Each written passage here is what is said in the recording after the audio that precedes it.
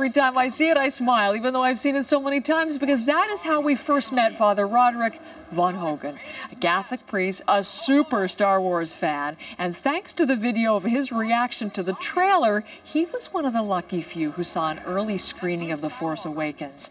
Well, you know, we had to meet Father Roderick. So pleased that he can join us this morning from his home in Amersfoort, Netherlands. Father Roderick, good morning to you. Good morning, Canada. Uh, good morning, Canada. I think Canada would say it's nice to meet you, but Canada already knows you because of our news program. We've been showing that video uh, so many times, of course, as people have around the world. So clearly, you were excited by the trailer. If anyone oh, yeah. was excited to see the movie, it would be you. So, without giving any spoilers, did it live up? Was it as exciting as the trailer to you? It went above and beyond any expectation that I had. It was amazing. I was so excited. This is an awesome movie. Okay. It's it. You yeah. can tell me that as somebody who's seen it how many times, sir? I've seen it twice now. I'm going to see it again today, tomorrow, Saturday, Sunday, probably for the rest of the month you serious? It's, Every it's day for the rest good. of the month? Okay, well, here's your reviews because you've been taking to social media. You've been tweeting your reviews. Here's your reaction after viewing number one. Let's show that tweet here to our viewers. It says, uh, Oh, no, sorry. This is you when you've arrived. Okay, this is you on the red carpet. The force is strong with this one. Okay, now, sorry about this, Father Roderick. Want to make sure we get these. Sure. After you saw it the first time, you have uh, feel like 12 again. Yes. There we yeah. are. That's what you said there. Star Wars 7 and I am 12 again. Is that what that's what it made you feel? Tell me more about that. Absolutely. Well, that's that's I think the amazing accomplishment of this movie. It brings back the the the real Star Wars, the the the Star Wars that we that my generation remembers from when they were kids.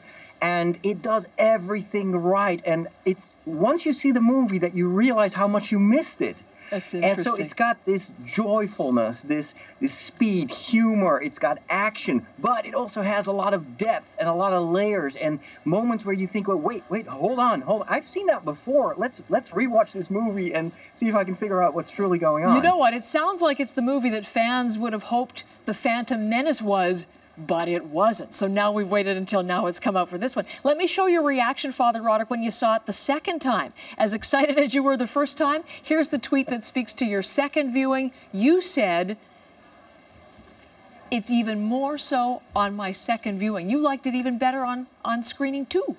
I did. I did. It was the second, the first time is overwhelming, and I, we're just, we were, the, the, entire theater was applauding, cheering, laughing, crying. There were moments that I had tears in my eyes. The second time, you, you already kind of know where the story goes, and so you notice so much more about the details and what makes this movie so perfect and and so incredibly well done. The the actors, new actors for me, totally brought it home they are the new stars of Star Wars, and I was blown away by their quality. We're looking at some of them in the trailer here. There's the new uh, storm, the new hero as we see him. When did you become a Star Wars fan? Gosh, I was I, I think I was like 10 or 11 years old, and I had seen one other movie in theaters before. It was Jesus Christ Superstar. And okay. that blew me away. I thought it was awesome. And then the next movie was Star Wars A New Hope. And my next hero next to Jesus became Luke Skywalker. And those two are still my heroes today. Well, it's fun. I was going to ask you that very thing if this was a separation from the church and religion, or for you, I mean, it's a quintessential good versus evil if you find the two are intertwined in, in the Star Wars franchise. They're very, very much related. George Lucas, when he when he first started Star Wars, wanted to create a new mythology to teach a younger generation about good and evil and about you know spirituality. And he was afraid that young people don't read the Bible anymore or other holy books. And so, but he was convinced that you need stories to talk with the younger generation about these themes. And that's what Star Wars does so well. So he took all sorts of elements from the Bible, from Buddhism, from all sorts of religious religions, and and and put them in the story. And I was so happy to see that in this new movie, that's exactly what happens. There are so many religious themes that are right underneath the surface, and that's why they have such a, a broad appeal, because we all kind of can relate to that. We recognize it. You're making a documentary about this, aren't you? I am. Tell me more about I, that. What I'm working on is a documentary about this multi generational phenomenon that is Star Wars. The kids from then are the parents from now.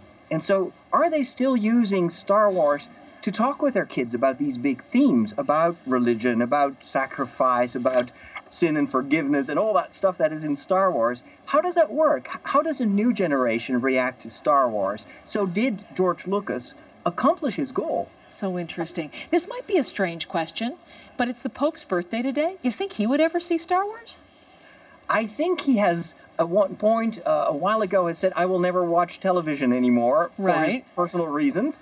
So I'm not sure if he will ever get to see Star Wars, but he's the kind of guy that would love it. Well, that's what I thought. You know, he strikes me as someone who would see the same things as perhaps yours as you're seeing. I mean, he's like a, a Catholic Jedi master, right? he teaches us, he guides us to open ourselves up for like a divine force, something that gives us strength, that guides us. But he puts it into practice himself as well. Plus, he's got a sense of humor. Well, that's Star Wars in a nutshell.